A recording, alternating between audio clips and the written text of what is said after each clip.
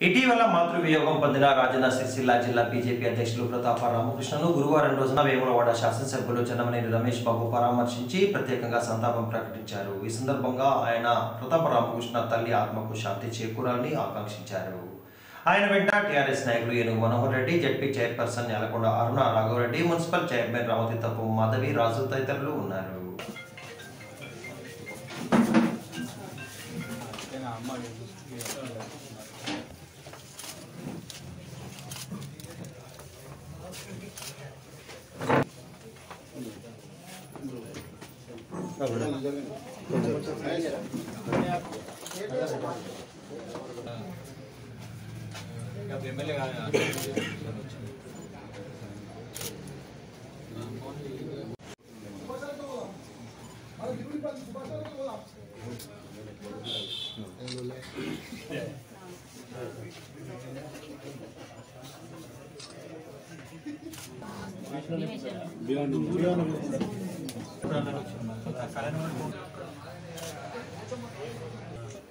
chicken coffee వస్తుంది తర్వాత మళ్ళీ ఏంటంటే బాగున్నాయి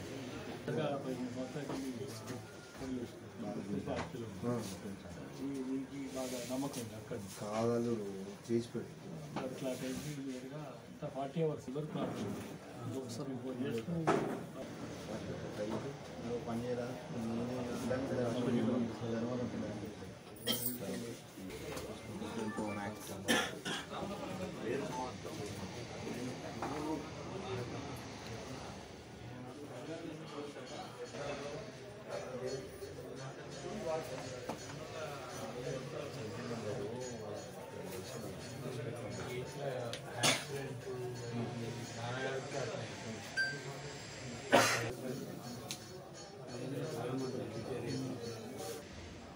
स्कूल